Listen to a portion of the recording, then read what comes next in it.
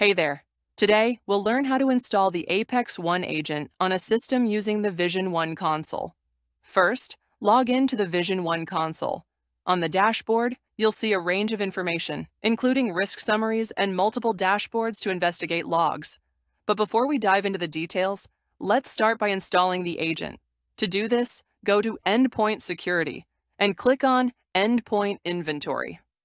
Here you'll find the option to Install Agent. Go ahead and click on that.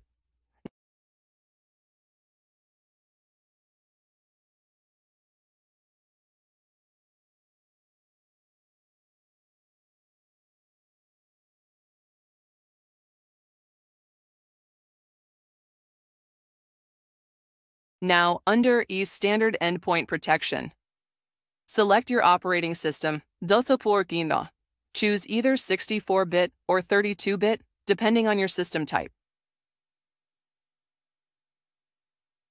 In Endpoint Group Manager, select Windows. Finally, click a Download to get the agent installer, and that's it.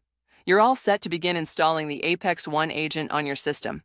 Thanks for tuning in and stay secure.